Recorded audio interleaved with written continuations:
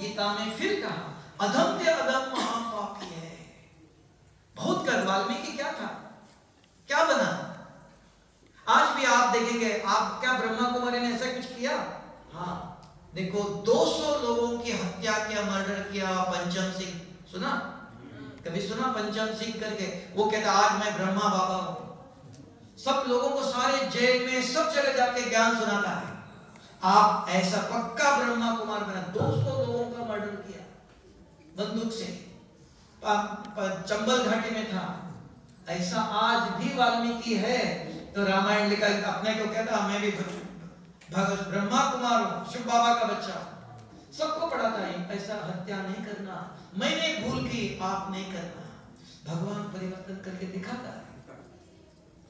नहीं तो ऐसे लोग चेंज होने वाले हैं, है ना? तो ये बाबा का प्रैक्टिकल प्रूफ है। समझ में? मनुष्य रियलाइज़ करता है कि उसको कहते हैं पश्चाताप करता है। मैंने भूल किया तो क्षमा होती है। जब तक मनुष्य अपने कर्मों को पश्चाताप नहीं करता, महसूस नहीं करता, कहता है, नहीं, ये माता जी ऐसी करती है, पिताजी ऐसा करता है। मुझे गुस्सा नहीं आता, इन्होंने ऐसे बोला, इसलिए मुझे गुस्सा आया। मैं दोषी नहीं, ये दोषी है। नहीं, मुझे गुस्सा आया, मैं दोषी मुझे ठीक करना है। तब का स्व परिवर्तन से ठीक है समझ में आया